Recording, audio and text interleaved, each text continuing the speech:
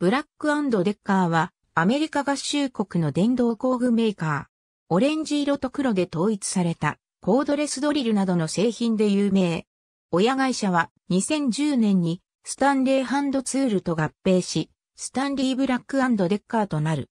メリーランド州ボルチモアで S ダンカンブラックとアロンゾ G デッカーがミルクのボトルキャップ製造機の工場を設立したのが始まりである。1916年に世界で初めて発明したピストルグリップ型電動ドリルは当時機械加工といえば大型の固定機械しかなく固定電動工具を持ち運びができるようにした革新的な発明であった。この電動ドリルの設計思想が現在の電動工具の礎になっている。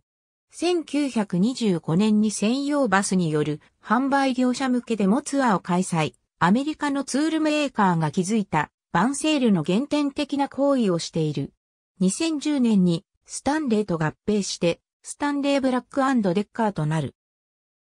日本国内では本社の100%子会社であるポップリベットファスナー株式会社が輸入、販売している。2014年1月に採用された現行のロゴ2000年頃までは、大色の商品もあった。ワイヤードマガジン、ハットホワットメイクスブラックデッカー、A ワールド、リムウンドブランド、アバウトブラックデッカー、ハットブラックデッカー、ブラックデッカー、ブランドロゴをリニューアル2014年1月14日。ありがとうございます。